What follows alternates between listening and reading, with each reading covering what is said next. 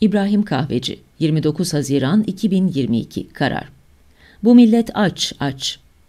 Şer güçler saldırdığı için bu ekonomik sıkıntıları yaşıyormuşuz. Biraz sabredin onların da üzerinden seneye Şubat-Mart aylarında gelecekmişiz. Yerseniz hikaye bu.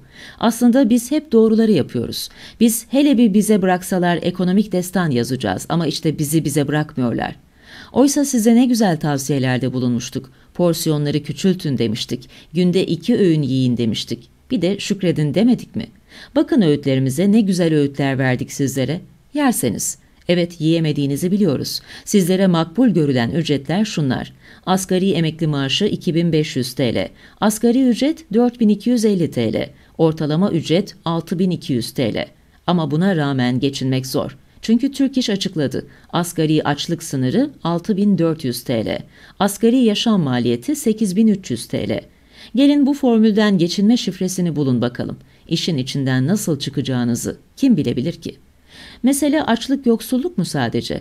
Mesela bu ülkede insanlar yoksulluk nedeniyle çocuk bile yapamıyor.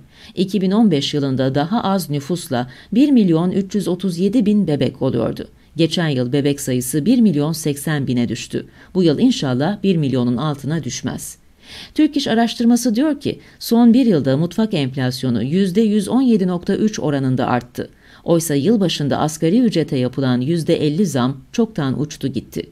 TÜİK bile son bir yılda gıda enflasyonunun %93.1 olduğunu, sadece bu yılın ilk 5 ayında bile gıda enflasyonunun %45.6 olduğunu ilan ediyor.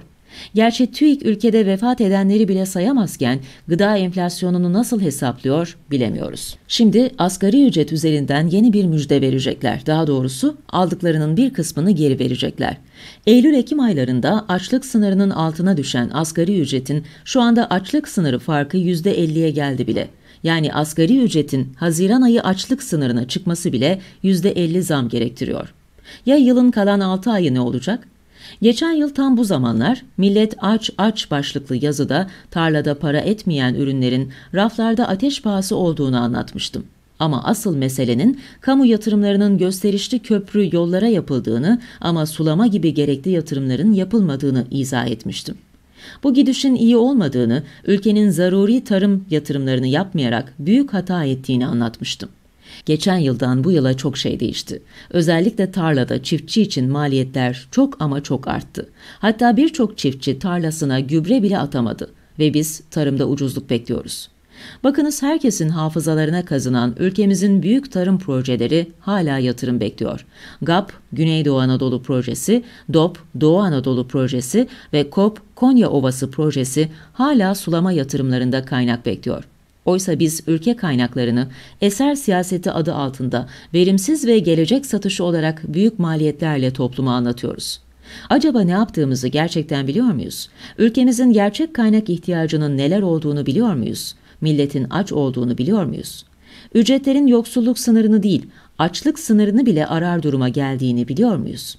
Hadi aç kalmış bu millete eser siyasetini anlatın bakalım. Nereye kadar gider bu durum bilemiyorum. Ama geleceğimizin karanlık ve açlıkla imtihanı oldukça zor geçecek. Şimdiden bir kez daha uyarmış olayım. İbrahim Kahveci